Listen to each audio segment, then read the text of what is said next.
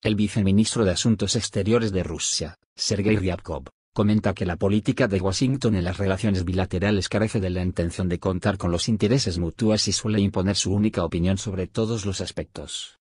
Estados Unidos se cree el vencedor de la Guerra Fría, mientras que a su juicio Rusia como heredera del URSS, la perdió. Por eso suponen que Moscú debe obedecer a Estados Unidos como un socio subalterno, afirmó Sergei Ryabkov en una entrevista al periódico ruso Kommersant. Según el funcionario, Estados Unidos descarta el mismo concepto de la existencia de los intereses nacionales de Rusia.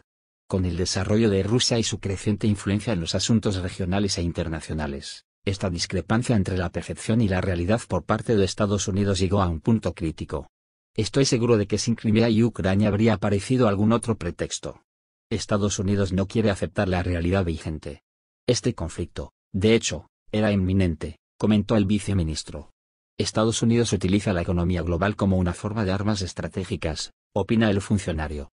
Las cuestiones de comercio, de las inversiones, del acceso a los mercados están sometidas a los objetivos geopolíticos. No tiene nada que ver con la economía de mercado.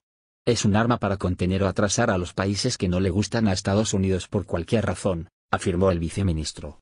En cuanto a las sanciones estadounidenses, Sergei Ryabkov subrayó que nosotros no suspendimos ningún elemento de las relaciones bilaterales.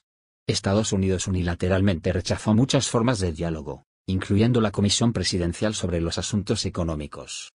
No creo que los lazos con Rusia no sean importantes para Estados Unidos, dice el funcionario, pero parece que la idea de la cooperación mutuamente beneficiosa cedió a un tipo de rabia geopolítica. De todos modos, la variedad de contactos entre los dos países es tan amplia que a menudo no solo es posible, sino que es indispensable, por ejemplo en las crisis regionales, el cosmos y la industria atómica. Rusia no intenta cerrar la puerta y poner el candado, pero no queremos que algunas ramas sufran solo por discrepancias en esferas completamente diferentes, afirmó Ryabkov.